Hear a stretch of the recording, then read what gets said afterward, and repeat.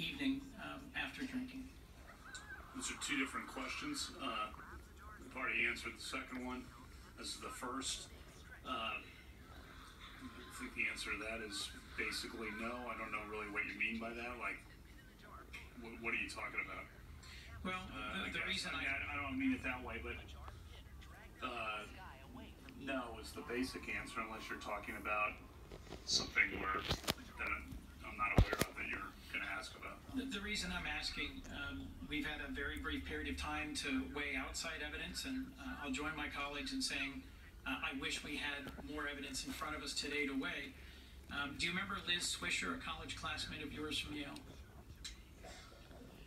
Uh, first, on your point about the outside evidence, uh, all four witnesses.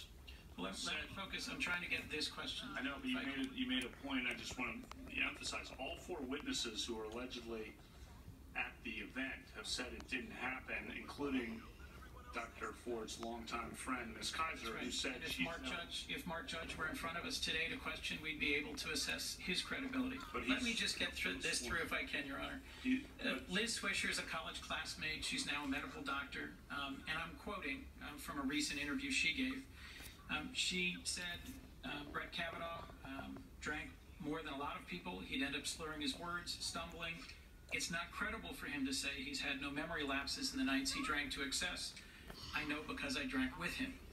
Um, how should we assess that? She then goes on, if you if you kept reading, and says she actually can't point to any specific instance like that. Um, the quote that jumped out at me was Brett was a sloppy drunk, and I know because I drank with him. Um, there's also I don't think that I don't I, I do not think that's a fair characterization.